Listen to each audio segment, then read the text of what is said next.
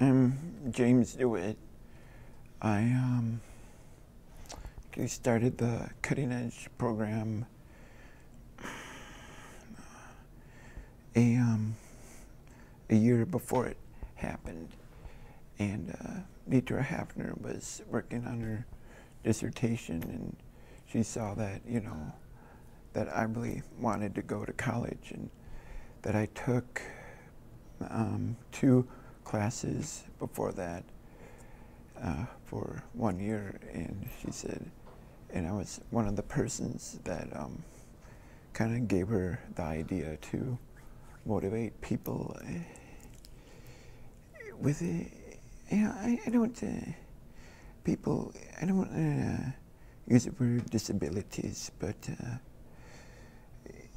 pe people uh, with issues, you know, join the, join the program.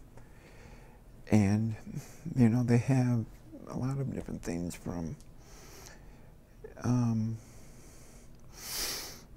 you know, from Down syndrome to autism to Asperger's to epilepsy.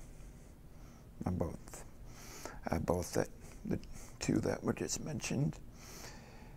And I graduated um, with the broad area of social sciences with a history emphasis in the winter of 2010. And I came back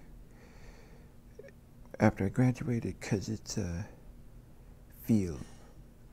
You know, uh, it's, a, it's a small town. Uh, I, like to uh, use the term, uh, you know, 1950s Midwestern small town feel, which my parents grew up. Uh, you know, it has that, uh, you know, nice feel. Everybody's warm. Everybody cares about you. You know, that's why I come back, you know, to audit audit courses.